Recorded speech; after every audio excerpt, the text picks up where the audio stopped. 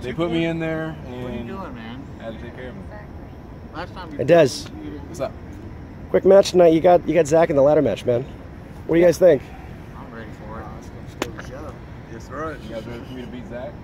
Yeah, knock Yeah. that, Kill knock him. that Tear that mustache mustache off. off of his it. Oh Get yeah, that mustache is really bad. How long? Horrible. Really bad. Another week, it's gonna look like 80s porn. Uh, it's gonna start going into Already his food while he's eating and everything. Like mine. Yeah.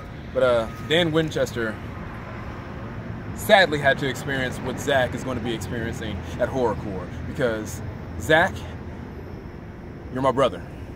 I love you, and I understand where you're coming from, but you didn't have to do what you did. You see, you stabbed me.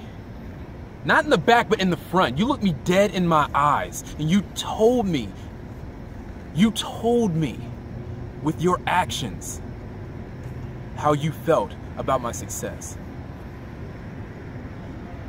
So now you're gonna have to live with additional success as I defeat you at Horrorcore in our first ladder match.